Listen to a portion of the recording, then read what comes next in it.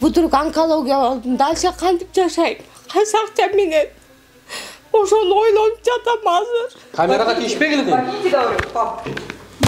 Я, хозяйка клиники, чыкла. Выходите. тарсаң тарсаң Таппагыла. жоқ милиция кыскача биз ушул жерден кабинетиңизге деле барбайлы коелу мындай кылалы жаркынбек мырза сиз менен эми мындай беттешип сүйлөп түшүп атканыңызга кубанычтабыз бактыгүл бекбоеваны эркелетип бона деп коюшат экен ошол бона деген аталыш да бүгүн ошонун атынан коюлуптур жок силер тийишпегиле бизге Вы заберите его отсюда. жок булар ким ким бул биринчи бизге Сиз да мыйзам бар деп атасыңар да Ооба.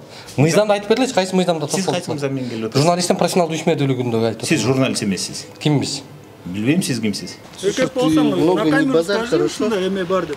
Я тебе говорю, много не базар. эмне кыласыңар Понял?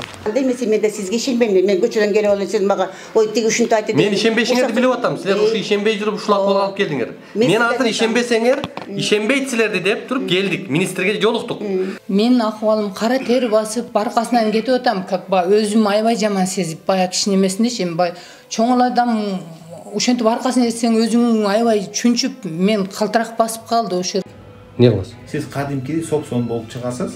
Ал акчаңыз болсо анда сүйлөшүп алабыз. да бизди тоокто сойгондой эле союп туруп үч күндө эле айдап салганда мен кечэтен бери таарынып жатам капы делип аткан өзүң айткан жээниң деп аткан кыялдын бона деген ооруканасына алып барып операция кылып кырк жети миңден деп койду койдуңар беле ушул бактыгүл бекбоеваны же ушул онкологияны өнүктүр онкологияга шарт түз онкологиялык оорулууларга жардам бер ошолорду акчаларын ая ошолорго жардам бер деп койдубу